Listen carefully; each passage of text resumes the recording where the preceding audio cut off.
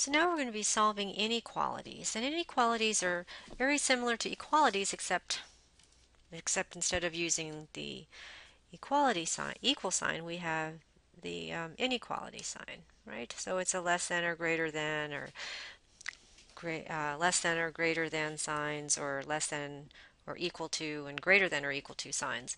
So let's see. So let's take a look at our problem here.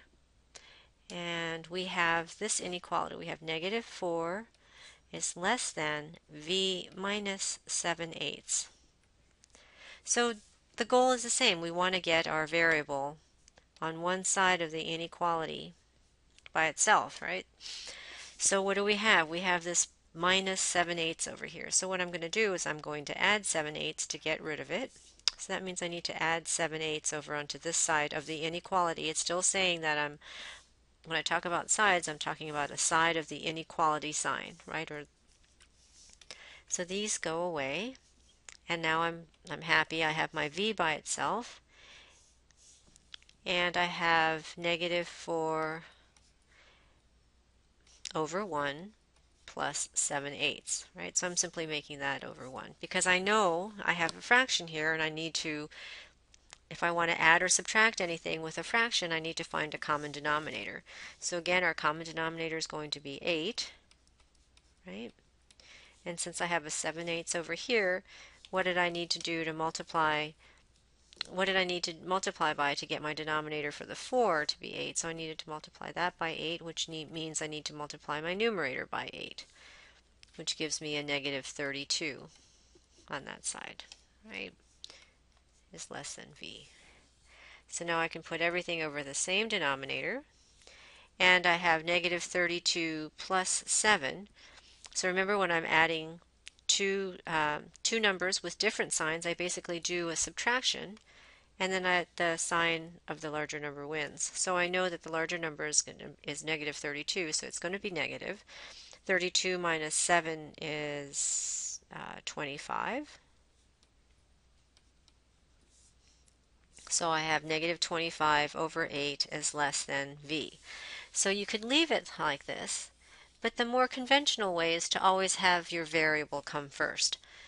So I would actually prefer to write it as v and I have negative 25 over 8s on this side. Because I'm bringing that, because I'm bringing the v over to the left, the side, the equal, the inequality sign that's larger is facing that v, so it needs to stay that way.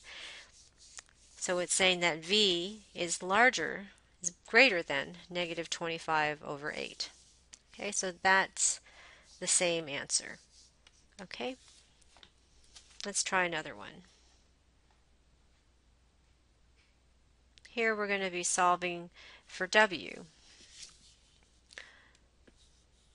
Our, equa our inequality is W minus 1 sixth is greater than or equal to negative 4 fifths. Again, my goal is to get my W by itself. So I need to add 1 sixth to both sides because I'm subtracting 1 sixth from it. And again, remember I'm talking about sides of the inequality sign. So these go away and I simply have W is greater than or equal to negative 4 fifths plus 1 sixth. So there's our uh, addition of fractions and we should be comfortable with that. Now we need to find a common denominator. So our least common denominator is 30. So I'm looking to find a way to get both of these fractions with a denominator of 30. In the meantime, my w is still greater than whatever is going on over on this side. So in order to take 4 fifths, I needed to multiply this number by 6. So I need to multiply the numerator by 6, and that's going to give me a negative 24. For 1 sixth, I needed to multiply it by 5. 6 multiplied by 5 gives me 30, so I need to multiply the numerator by 30. I'm sorry, by 5, and so I get 1 times 5 is 5. Now I can combine them because they have the same denominator. Still have my w over here.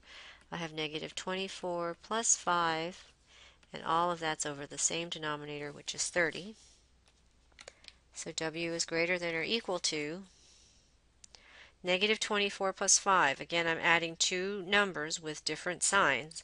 So I do a subtraction. 24 minus 5 is, whoops, 24 minus 5 is 19. And because the larger number was negative, the number stays negative over 30.